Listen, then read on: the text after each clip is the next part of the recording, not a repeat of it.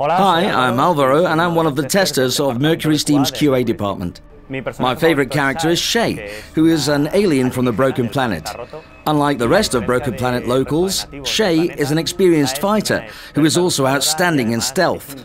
In my opinion, this makes her one of the most lethal characters of the game. We need her on our team. She's a fighter who can make a difference. On one hand, she is very good from long distances. On the other, due to her bewitch power, she can hide from the enemies and lurk around to finish them off. Now imagine this being the antagonist. Shae is capable of driving the Raiders crazy and finishing them off in the blink of an eye.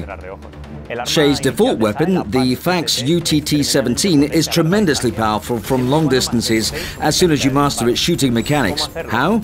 Well, you'll have to be patient to charge the weapon to its maximum and then always remember this advice.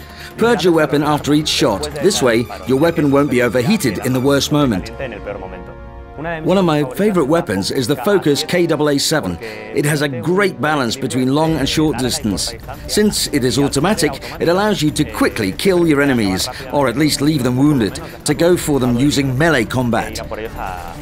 A good piece of advice would be to make sure that you are aiming accurately to the enemy's heads. The better you aim, the quicker the clip will empty and the more it will damage the enemies. The fundamental talent for Shae is Eclipse. This talent is quite wicked, but also a lifesaver. It launches and bewitches the enemies around you automatically when you are wounded. This will give you a few seconds to get away from the battlefield by foot or by dragging.